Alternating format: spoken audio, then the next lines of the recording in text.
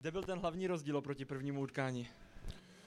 Tak eh, Dukla vlastně dneska na nás vletěla, hrali líp. Akorát bohužel, no tak v čem byl rozdíl? No, jsme dali jenom jednu branku, že jo, přes šance jsme si. Hráli jsme špatně, akorát bohužel jsme dali jenom jeden gol, no. Mohlo to, škoda jsme se dali vlastní, to bylo 2-1, možná bychom ještě dali na 2-2 a bylo by to, vypadal by ten zápas úplně jinak, no, ale se nedá nic dělat. Oproti prvnímu zápasu se to hodně ještě přiostřilo. Ty sám si byl v několika šarvátkách, tak je už znát, že to že přituhuje a že už hrajeme vlastně semifinále.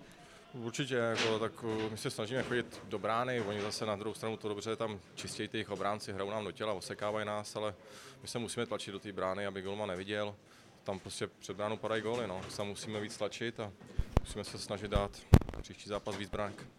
Ty jsi byl na ledě v polovině utkání u nepříjemné situace, kdy tam zůstal ležet eh, jejich golman David Honzík v kaluži krve, tak popiš nám, co se tam stalo, co, jak si to viděl ty. Já jsem tam vlastně viděl, že tam nějak eh, šli do jardy, jako tam padnul na zem, tak jsem vlastně šel k němu a začal jsem tam s někým strkat a vůbec jako nevím, co se mu stalo tomu golmanovi, kdo mu to udělal, to vůbec nevím. A jsem tam šel spíš jako bránit jardu a vůbec nevím, jak se to stalo. Honzík se nakonec do zápasu vrátil a možná on byl jeden z těch klíčových, z- klíčových mužů, protože nedokázali jsme ho překonat.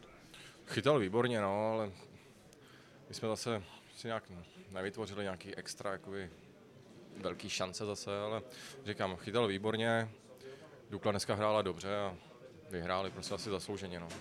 My jsme v situaci, kdy jestli chceme postoupit, museli jsme aspoň jednou vyhrát venku, to se nám povedlo hned v prvním zápase, tak jak to vidíš po těch prvních dvou zápasech? Je to spokojenost s tím výsledky nebo?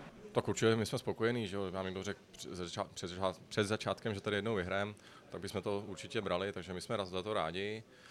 Teď jedeme k nám domů na Kladno, takže doufám, že tam vyhrajeme dvakrát, pomůžou nám diváci a doufám, že tam to bude lepší. No. Co hlavně zlepšit a změnit, aby to dopadlo doma? Více tlačit do brány, chodit do toho golmana jejich, eh, víc střílet, jako ten první zápas, dávat branky. No. Prostě minule jsme dali první dva góly a tím jsme to rozhodli.